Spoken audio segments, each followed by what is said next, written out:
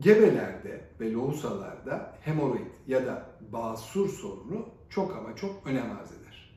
Kadınlarda gebelik sırasında bebeğin büyümesi, direkt rahime bası yapması, aşırı kusmalar sebebiyle sıvının azalması veya yeterli sıvı alamaması, e, kadınlık hormonlarının seviyelerinin yükselmesi sebebiyle kabızlığa karşı eğilim olması nedeniyle bağırsak hareketleri yavaşlar ve dışkı sertleşir.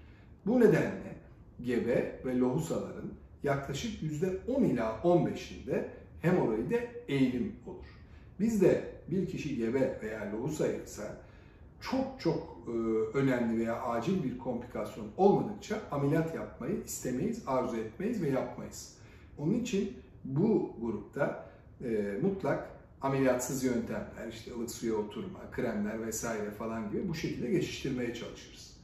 Bu nedenle hamile olmadan önce hanımların bu işe yatkınlıkları varsa, daha önceden bir hemoroid sorunu yaşamışlarsa bunu önceden çözüp o şekilde hamile kalmaları daha sağlıklı olacaktır.